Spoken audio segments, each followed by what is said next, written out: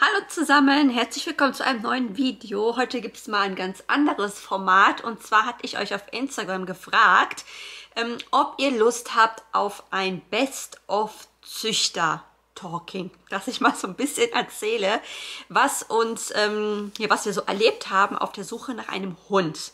Und da habt ihr auf jeden Fall alle mit Ja kommentiert. Also falls ihr uns noch nicht auf Instagram folgt, könnt ihr das gerne jetzt machen. Ich blende es hier mal ein. Da posten wir auch immer ganz fleißig ähm, Stories und Bilder von unserem Alltag. Auch schon sind schon ein paar Bilder von dem neuen Hund, der bald bei uns einziehen wird. Und ähm, ja, würde mich auf jeden Fall freuen, euch dort auch zu sehen. Ja, fangen wir mal an. Wir haben uns ja dafür entschieden, uns einen Hund, einen Welpen zu holen und keinen Hund vom Tierheim. Da habe ich auch schon ganz viele Fragen bekommen, wieso, weshalb, warum. Ähm, eigentlich wollte ich darauf jetzt nicht eingehen, aber das existiert, also es kommt dann immer so eine riesen Diskussion auf, aber ich sage es jetzt einfach ganz klar, wie es ist. Ein Hund aus dem Tierheim ist natürlich immer einfach ein Überraschungspaket. Man weiß wirklich nicht, was man da bekommt, was der Hund schon so alles mitgemacht hat. Und ich muss sagen, mit Kindern bin der Dominik und ich einfach ja auf der der Meinung, dass wir uns einen Hund holen, den wir selber so erziehen, wie wir es gerne hätten. Also es ist wirklich ein ungeschriebenes Blatt, so ein Welpe. Und man kann ihn wirklich in die Richtung lenken bzw. erziehen, sage ich mal, wie man es gerne haben möchte und wie es in einem eigenen Alltag halt passt. Und bei einem Tierheimhund ist es so, dass ich finde, wenn man Kinder hat, wenn wir jetzt keine Kinder hätten, hätten wir gesagt, okay, wir holen uns einen Goldie aus dem Tierheim. Und ich habe auch schon hin und her geguckt, auch ähm, aber wie gesagt, der Dominik und ich sind uns da wirklich einig, dass mit den Kindern ist es für uns im Endeffekt wirklich doch schon einfacher, wenn wir einen Hund haben, den wir selber einfach erziehen können. Wie gesagt, wie es in unseren Alltag halt passt. Hätten wir keine Kinder, hätten wir uns da wahrscheinlich anders entschieden. Aber so ist es für uns einfach wirklich die perfekte Lösung. Genau. Und ähm, so viel dazu einfach. Mehr werde ich dazu jetzt auch nicht sagen. Ich denke mal, die Erklärung müsste eigentlich auch allen dann reichen. Jeder macht es wirklich anders. Das ist ja auch das Schöne daran, dass sich jeder für sich selbst entscheiden kann, wie der das halt machen möchte. So, weiter geht's. Also, wir haben uns da ganz fleißig, beziehungsweise ich habe mich darum gekümmert und habe mir wirklich stundenlang ähm, Seiten angeschaut, ähm, von äh, Golden Retriever Züchtern oder von privat, habe mit ganz vielen geschrieben und auch telefoniert und es kamen wirklich die krassesten Sachen raus, wo ich mir gedacht habe, okay, ohne jetzt böse zu klingen, aber haben die Menschen überhaupt irgendeine Menschenkenntnis? Ich glaube, die leben nur in ihrer Hundewelt und haben sonst keinen Kontakt zur Außenwelt oder überhaupt null Menschenkenntnis dafür, dass die da so viel Wert drauf legen. Ähm, zum einen war es tatsächlich so, ich sage euch einfach mal so die verrücktesten und lustigsten Sachen. Ein Golden Retriever ist ja, klar, ist ein Jagdhund, aber auch einer der begehrtesten Familienhunde überhaupt, ja. Und da hat tatsächlich eine gesagt, ja, ich vermittle meine, meine Hunde nicht an Familien. Also es wird kein, es wird ein Familienhund nicht an eine Familie vermittelt. Okay. Dann war die andere, die hat gesagt, nee, also wenn sie Kinder haben und die Kinder sind dann äh, nicht über sechs, dann, ähm, nee, dann gebe ich den Hund nicht ab, das geht nicht. Okay. Scheint ja gut zu funktionieren alles. Ich frage mich, an wen die dann den Hund abgeben, weil an Single oder an Pärchen, was den ganzen Tag arbeiten ist und der Hund ist dann alleine zu Hause, verstehe ich nicht. Aber gut habe ich gesagt, okay, kein Thema. Das Schlimmste fand ich tatsächlich, also ich kann es verstehen, wenn man jetzt zum Beispiel sagt, ich möchte den Hund nicht an jemanden abgeben, der vielleicht gerade schwanger ist oder gerade ein Baby bekommen hat, weil es ist wirklich so, ein Welpe macht viel Arbeit. Es ist wie mit einem Baby. Man muss nachts aufstehen. Es ist wirklich sehr viel Arbeit. Die pinkeln ins Haus. Man muss das antrainieren. Verstehe ich total, ja. Dass man da jetzt sagt, mit einem Neugeborenen ist es eventuell viel Stress. Aber mal ganz ehrlich, ich habe allen erzählt, dass wir schon einen Golden Retriever hatten. Der war 14 Jahre bei uns. Das heißt also, erstens haben wir 14 Jahre Erfahrung mit einem Hund und wir sind nicht solche Menschen, die den Hund dann abgeben einfach irgendwie, ne? Dass er nur zwei, drei Jahre bei uns war. Der kennt immer sein ganzes Leben bei uns und er ist ein Golden Retriever gewesen. Ähm, Golden Retriever Mischling, Labrador Goldie. Aber trotzdem haben wir Erfahrung mit dieser Rasse. Und da finde ich, sollte man so ein bisschen Menschenverstand haben, zu sagen, okay, vielleicht entsprechen die nicht den und den Kategorien, dass die Kinder vielleicht nicht, keine Ahnung, über 18 sind oder weiß der Geier, was die Forderung hatten, aber die Personen hatten schon Erfahrung mit diesem Hund. Also kann man sich vielleicht da mehr austauschen und vielleicht die Leute mal kennenlernen. Gar nicht. Ne, sie haben kleine Kinder und ähm, sie arbeiten von zu Hause aus, das ist alles die Kriterien. Sie haben das überhaupt nicht zur Kenntnis genommen. Dann war eine, die uns ja zugesagt hatte für einen und wir haben gesagt, okay, den würden wir nehmen, wir würden gerne vorbeikommen, wir würden sie kennenlernen und den Hund dann, wenn das passt, würden wir ihn nehmen. Und dann hat die uns zugesagt und auf einmal sagte sie uns ab, weil ihr das alles zu schnell geht. Es würde ihr zu schnell gehen, dass sie jetzt innerhalb von 24 Stunden vorbeikommen könnten. Das wäre für sie nicht möglich und normalerweise würde sie es so nicht machen, denn ähm, sie würde am liebsten die ähm, Eltern schon näher kennenlernen, damit sie halt einen besseren Bezug, besseren Bezug zu denen hat und dann ähm, die Leute auch kennt, an die, die den Hund vermittelt. Auf der einen Seite verstehe ich es, auf der anderen Seite hat sie der Dame, die sie ja eigentlich zugesagt hatte, vor, also während ihre Hündin schwanger war, ja zugesagt. Die hat die komplette Schwangerschaft begleitet, die acht Wochen begleitet. Und am letzten Gespräch meinte die Züchterin der Dame wohl abzusagen, weil sie ihr irgendeine irgendwas gesagt hatte, was der Dame nicht in den Kram gepasst hätte, der Züchterin. Und da denke ich mir, okay, im Endeffekt kannst du ja dann auch nicht danach gehen, dann, weil die kannte die Frau ja schon jetzt seit drei Monaten oder zwei Monate, wie lange, ich weiß nicht, drei Monate, ne? Ist so der Zeitraum von der Schwangerschaft, bis der Hund halt abgegeben wird. Und sagt ihr dann am Endeffekt doch ab, weil ihr die Nase dann doch nicht gepasst hat. Also die war wirklich die verrückteste, finde ich, was ähm, Züchter angeht. Dann zu sagen, das geht mir jetzt zu schnell, ich kenne sie ja nicht. Sie wollte den Hund wahrscheinlich einfach gar nicht abgeben. dann war noch eine dabei, die dann sagte, was hatte die nochmal gesagt? Genau. Dann war eine dabei, die hatte auch Welpen da. Wie war das denn nochmal? Ich habe so viele Gespräche geführt. Sie sagte dann zu mir, ähm, sie hätte noch welche da. Das waren zwei Rüden die noch da wären, hat mir dann Fotos geschickt von den Hunden und ich habe auch voll süß und er hat mir so ein bisschen was über die Geschichte von dem kleinen Hund erzählt und dem größeren Hund. Da war auch einer, der war halt recht klein und zierlich und ruhiger und der andere war halt ein bisschen kräftiger.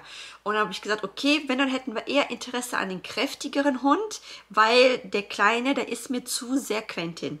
Der ist als Letzte geboren, hat nicht richtig gefressen, ist halt total hell gewesen und ähm, das habe ich gedacht, nee, das erinnert mich einfach zu sehr an die Geschichte von unserem Hund und sagte dann, okay, mein Mann und ich würden gerne vorbeikommen, vielleicht auch eventuell mit den Kindern, dass wir sie einfach mal kennenlernen. Das wären drei Stunden Autofahrt gewesen.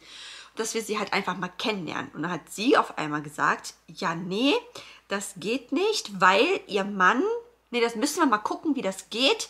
Die Welpen sind erst gerade drei Wochen alt. Ähm, das würde erst nach der vierten Woche funktionieren. Und das müssen wir sowieso mal gucken, wie das funktioniert, weil mein Mann ist Risikopatient.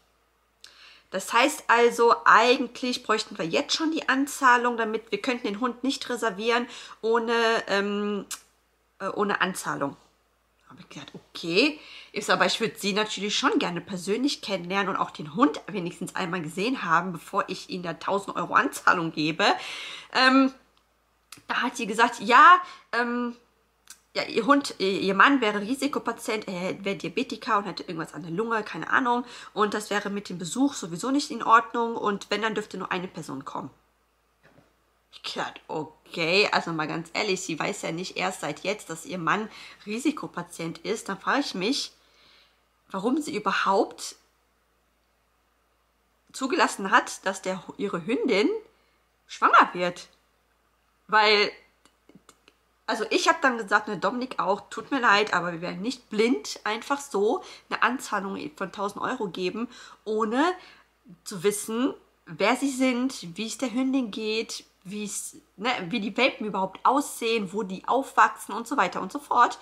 Und die hat tatsächlich darauf bestanden, dass wir blind eine Anzahlung machen, ohne die Frau zu kennen, ohne die Hündin zu kennen, ohne den Welpen jemals gesehen zu haben, weil ihr Mann Risikopatient ist und wir dann nicht vorbeikommen könnten vorher. Da habe ich gesagt, tut mir leid, aber das werden wir definitiv nicht machen. Ähm, wir kennen uns jetzt nur per Telefon und ähm, ich werde jetzt nicht anzahlen, ohne vorher den Hund gesehen zu haben. Ja, und das ging dann auch nicht. Tatsache ist aber, dass wirklich alle Hunde bei ihr weggegangen sind. Ich frage mich, wer einfach blind 1000 Euro an jemanden überweist, ohne vorher diese Person zu kennen. Also das finde ich echt makaber, richtig krass. Und ähm, das fand ich auch. Also die war krass, 1000 Euro zu zahlen, ohne überhaupt die gesehen zu haben und überhaupt die Chance zu bekommen, auch wenn wir diese 1000 Euro angezahlt hätten, wüssten wir gar nicht, ob wir die überhaupt besuchen könnten. Ich meine, der Mann, der kann doch mal das Haus verlassen dann, wenn die Leute kommen, oder? Oder die könnte ja mal rauskommen aus dem Haus mit dem Hund in dem Arm und der Mutterhündin oder irgendwas. Gar nicht lösungsorientiert war diese Frau. Und da haben wir gesagt, nee, das geht leider gar nicht. Da haben wir auch von Abstand gehalten. Dann hatte ich auch eine Dame, die, deren Hund war gerade ähm, da wusste sie nicht, ob der Hund schwanger wäre. Sie würde sich dann nochmal melden, hat sich dann auch gar nicht mehr bei uns gemeldet, ist auch nicht mehr ans Telefon gegangen. Das war hier bei uns um die Ecke. Habe dann jetzt im Internet gesehen, dass die Hündin tatsächlich schwanger ist und tatsächlich ist es bei ihr auch so gewesen, dass sie nicht an Familien verkauft, die Kinder unter sechs Jahren haben. Also ganz viele Züchter haben Probleme mit Hunden, also die Hunde abzugeben an Familien, was ich nicht verstehen kann auf der einen Seite. Überhaupt nicht. Ich finde, also was ich gemerkt habe, ist, dass Züchter tatsächlich wenig Menschenkenntnis haben irgendwie, habe ich das Gefühl. Wenig Feingefühl und wenig, ähm, wie nennt sich das? Wenig, wenig ähm,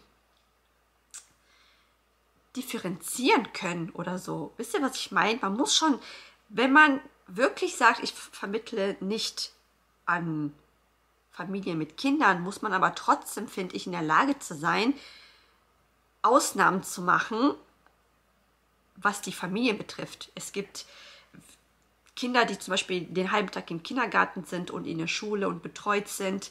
Das ist wieder was ganz anderes, als wenn man ein einjähriges Kind hat oder ein zweijähriges Kind hat, was die ganze Zeit zu Hause ist. So, Wohnsituation. Hat die Familie Erfahrung mit Hunden? Arbeitet die Familie von zu Hause aus, auch außerhalb von Corona? Das sind alles so Sachen, finde ich, da muss man schon ein bisschen Feingefühl haben und das dementsprechend auch differenzieren ähm, und wenigstens die Leute mal kennenlernen. Aber ich bin keine Züchterin, keine Ahnung. Im Endeffekt ist es jetzt so, dass wir eine Familie gefunden haben, eine private Familie. Zudem muss ich sagen, keine Züchterin, die ähm, eingetragen ist in diesem VDH und Hundeverein und hast du gar keine Ahnung was mit, mit Golden Retriever. Da gibt es ja zig Vereine. Und ähm, aber beide Tier, äh, Hundeeltern haben Papiere und ähm, es ist der zweite Wurf innerhalb von drei Jahren, dass die Hündin, die Hündin halt bekommen hat. Ähm, und auch, sie hatte auch gesagt, sie hat kein Problem damit, die, die Hunde an Familien zu vermitteln, weil ähm, das natürlich, wer vermittelt denn keinen Golden Retriever an Familien, hat die gesagt, die war total entsetzt.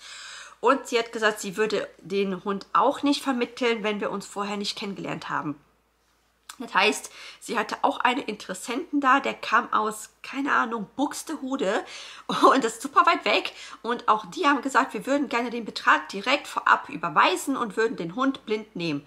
Und dann hat sie gesagt, wegen Corona übrigens, und hatte sie gesagt, nee, das machen wir grundsätzlich nicht, weil wir wissen wollen, in welche Familien unsere Hunde kommen. Wir möchten die Leute kennenlernen, wir möchten halt einen guten Draht zu den Menschen haben.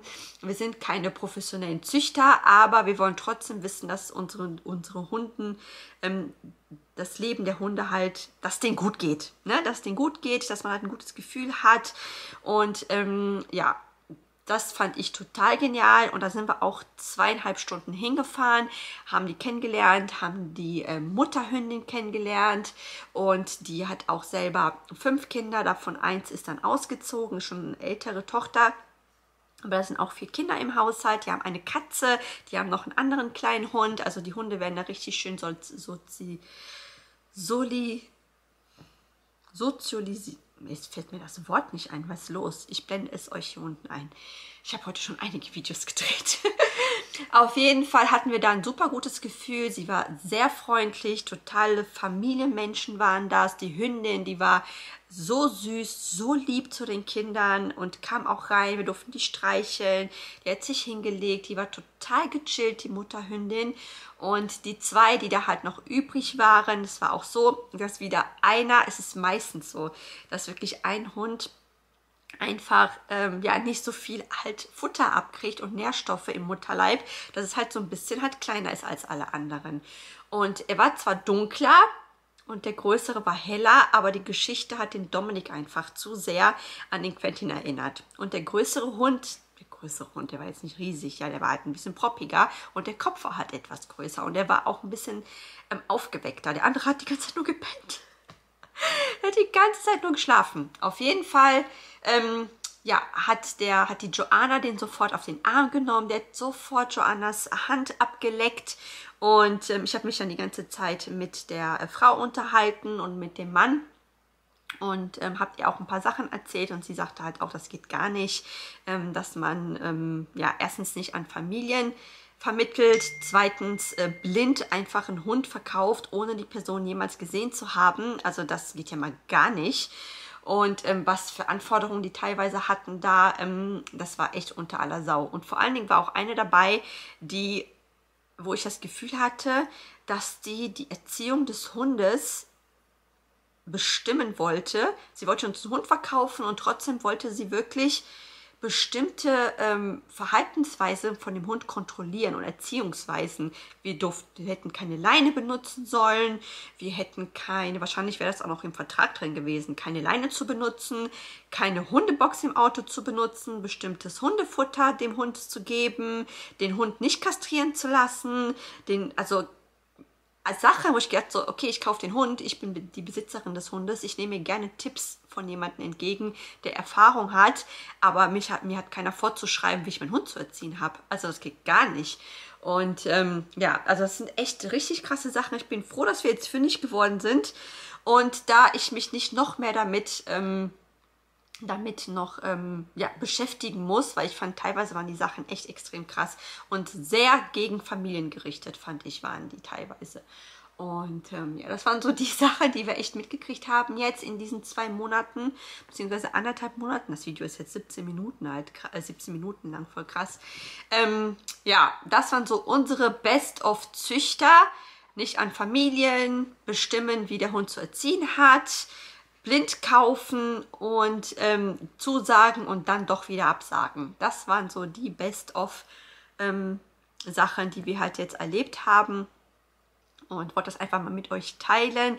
Einige von euch haben mir auf Instagram auch schon sehr krasse Sachen äh, erzählt, dass teilweise eine sogar fand ich am krassesten, die wollte, die Züchterin wollte im Vertrag festgehalten bekommen. Erstens musste sie ein Jahr zu einer bestimmten Hundeschule gehen, weil ich auch total unverschämt finde, weil wenn man die Person nicht riechen kann, den Lehrer da, dann ähm, ist das sowieso Katastrophe vorprogrammiert, finde ich. Also man sollte sich die Hundeschule schon selber aussuchen dürfen, wo man hingeht mit dem Hund und wie lange man halt auch dorthin geht. Und ähm, da war eine, die hat gesagt, die äh, wollte, dass man immer Fotos vom Hundehaufen macht und der das jeden Tag schickt, damit die kontrollieren kann am Hundehaufen, ob man den Hund richtig ernährt. Das war echt krass, also richtig krass. Genau, also das waren so die Geschichten, die ich bis jetzt hatte, was zum Thema Züchter angeht. Wahrscheinlich wird nach dem Video die eine oder andere sich noch bei mir melden und mir noch bestimmt lustige Sachen erzählen. Ähm, so viel dazu, zu diesem Thema Hundezüchter, lustige Geschichten, nicht so lustige Geschichten. Ich hoffe, euch hat das so ein bisschen gefallen und ihr konntet euch da unterhaltungsmäßig ein bisschen was rausnehmen. Ähm, das nächste Video wird auf jeden Fall wieder ein Vlog von uns sein. Ich bedanke mich auf jeden Fall fürs Zusehen und äh, freue mich auf jeden Fall auf das nächste Video.